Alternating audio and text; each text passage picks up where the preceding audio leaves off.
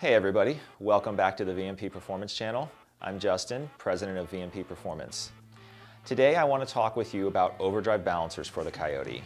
This has been a product we've offered for a long time. We've had 5%, 15%, 25%.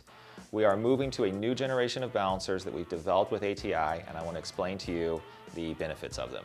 Okay, so the balancer discussion is a really important one because the factory ugly, heavy balancer just doesn't do a good job. And there's one thing it doesn't do at all. It doesn't overdrive the supercharger and it doesn't provide additional ribs for more grip. So that was the first thing that really drove the offering of these balancers. Initially, for our old 8 and 10 rib kits that we developed over 10 years ago, we took an off-the-shelf ATI balancer for the Coyote and made a new ring for what is commonly called the AC pulley because on a regular naturally aspirated Coyote, it drives just the AC system. When you go supercharge, it also drives a supercharger. This setup worked really good for a long time. It gave us some flexibility to offer 8 rib or 10 rib, different overdrive sizes. However, when the new Shelby GT500 came out, it had an 8 rib balancer from the factory and of course ATI wanted to design a better piece for it. So we worked with ATI on what we wanted to see and this is what came out of it. ATI was able to reduce the weight of the balancer a whole lot and I basically want to show you today what these design improvements are, why you should switch to the new balancer design on your Supercharged Coyote or your GT500 and how it's going to apply to VMP's 8 and 10 rib kit offerings. So the Coyote's been out for over 10 years now. We've all learned a lot and one of the things that we've learned that weight on the crankshaft is bad and good dampening is critical. When ATI redesigned the balancer, they were able to make the hub that mounts on the end of the crank snout much, much lighter. This is the original design. You can see it weighs 2.7 pounds. This is the new design. It weighs 2.2 pounds.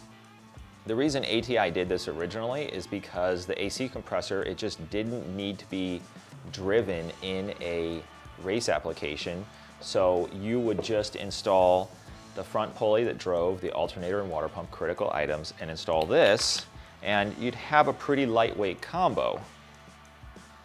Comes in at 8.3 pounds. However, as soon as you add an overdrive balancer ring for the supercharger drive, you're at 10.7 pounds. The new Shelby GT500, it, it had a new mandate. It had both the AC and the supercharger on the first sheave or the rear belt, and it, obviously you can't just toss that pulley, you have to drive it.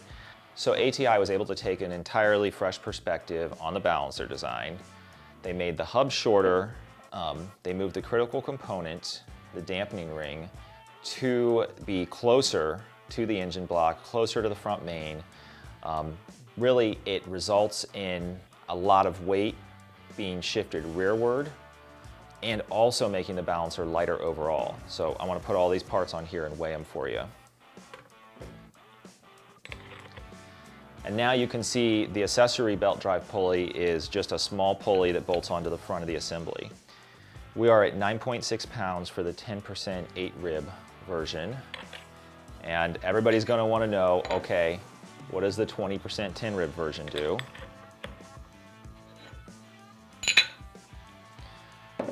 Ten point one pounds, still significantly lighter than the old setup, even with more overdrive. Now that you've seen the weights and I've talked about it, I wanna show you a side view. When you go to install an, this balancer on the engine, this part right here is gonna bottom out against the crank sprocket. Usually if these parts have been run, they actually have the Ford logo on them. It imprints itself from the crank sprocket.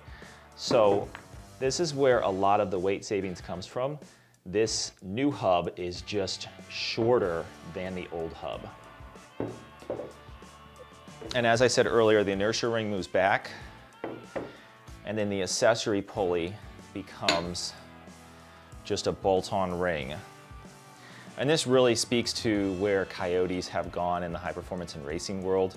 Water pumps are electric, alternators may not be used on all-out race cars, so this part can be discarded if all you need to do is drive the supercharger. In front of me on the table, we have several different designs. This is a 10% overdrive 8 rib. This is a 20% overdrive 8 rib.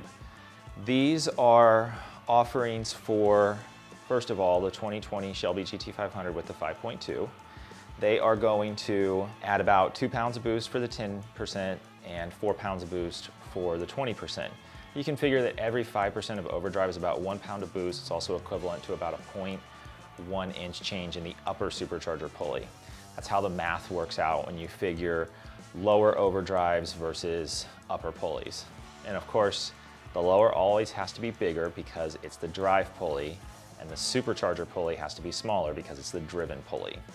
Now over here, we have a 20% overdrive tin rib. This part right here is going to be for VMP's tin rib kits for the Gen 3R and also for a future tin rib kit for the Shelby GT500. If you do install one of these balancers on a five liter Coyote, you are gonna need to get a four rib accessory belt off of a 2020 GT500. It's like 15 bucks from your local Ford dealer because this pulley is a four rib design. So we're really, really happy that we developed these new parts with ATI. They give you, the consumer, a lot more options when supercharging and overdriving your Coyote or Predator engine. Um, one of the things that I do want to mention that is really important, you can change the front shell assembly without ever taking the hub off the crank. That saves a lot of labor and also a lot of wear and tear on that really tight slip fit. So it's a, a really cool benefit that falls out of this new design because customers can upgrade from a 10% to a 20% later on or vice versa. Gives you basically more options to control the boost level that you're running. I also want to mention that the new style balancer uses a different pulley alignment or offset that is standard with the new Shelby GT500. So VMP's old 5%, 15%, 25% 10 rib kits are not compatible with any of the new parts. However, we highly recommend you convert to the new system because it is better for crankshaft durability in terms of weight and where that weight is placed on the crank snout. These balancers are available now on the VMP website. Make sure you keep watching for more information on the upcoming 8 and 10 rib kits for Gen 3R and Odin. Make sure you like, subscribe, and share. I'll see everybody next time.